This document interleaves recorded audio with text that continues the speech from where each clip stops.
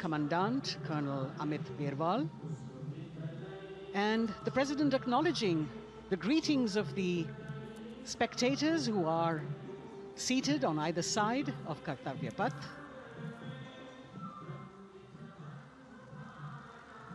A nation proud to be led by a woman president. Ladies and gentlemen, Honorable President of India, Srimati Draupadi Murmu, Once again, Macron. as President Draupadi Murmu and President Macron will arrive at the saluting base, who will be received by the Prime Minister It's a great honor to have His Excellency Mr. and then introduced to the other guests who are here Chief Guest on the moment before she makes her way to the saluting base and her special seat. we warmly welcome our Honorable Chief Guest. India and France are long-standing strategic partners in Indo-Pacific committed President Macron and President Murmu using the traditional Indian greeting, Namaste, with folded hands, which has now become a global greeting.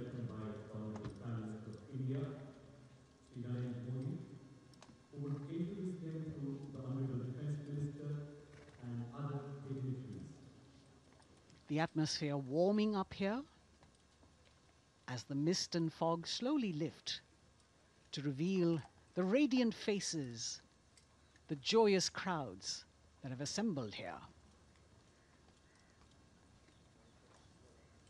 Prime Minister Modi greeting President Murmu, and of course, his friend, the President of France, Emmanuel Macron.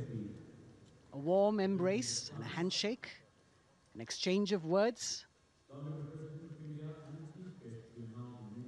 as they set the tone for the celebration of their partnership.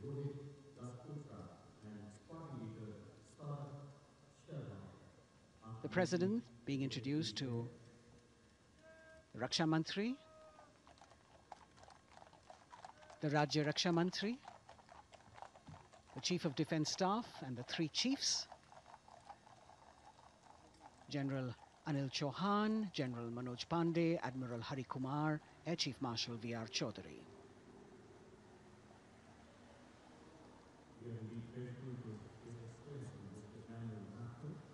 President Macron making it a point to shake hands with each of our dignitary